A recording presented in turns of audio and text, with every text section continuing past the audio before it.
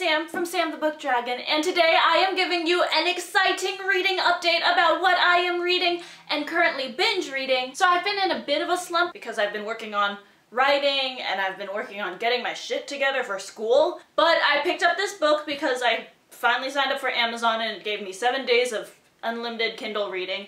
And so I got the first book of Harry Potter and I am speeding through the entire series. If you follow me on Twitter, you know that I picked it up a couple days ago and I am at the very end of the second book, and I am just so excited to be embracing the Harry Potter world. I have been saying I would read Harry Potter for uh, like four months at least. And I totally get the hype because you just want to be in this Hogwarts world, in this magical world. And I've also bought tickets to the Wizarding World at Universal Studios in Hollywood and I am so excited to embrace the fandom. So that is entirely my exciting reading update. I am telling you guys this update because I don't actually really do updates, but I want you guys to hold me accountable to reading the entire series within the next couple of weeks. Okay, and that's it for now. I will come at you guys with a September TBR um, other than the Harry Potter series soon because school is starting and that is insane. That's it.